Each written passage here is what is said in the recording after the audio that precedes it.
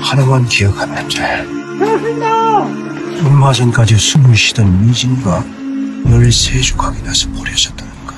Will you hold the line? Every one of them is giving up and giving in. Tell me, in this house of mine. 그 잡아. 이 자리에 네가 앉을 테니까. 나 그 자식 잡고 싶은 것 뿐이야. 나도 마찬가지야. 그놈은 내가 잡을 거고. 토막살이 난 사건 때문에 골치 좀 아프지. 그놈들 내가 잡게 해줄게.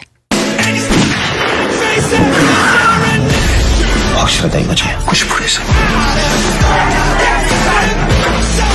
선택은 네가 한 거잖아. 아니야? 잡아도 잡아도 끝이 없어. 아무리 해도 나아지지 않는다. 그래, 범인을 잡아야지. 잡고 싶은 놈을 잡는 게 아니라 어쩌면 우리가 거꾸로 보고 있는 건 아닐까?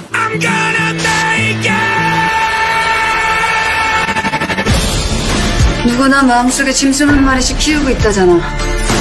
그게 언제 나타나는지가 문제일 뿐이지.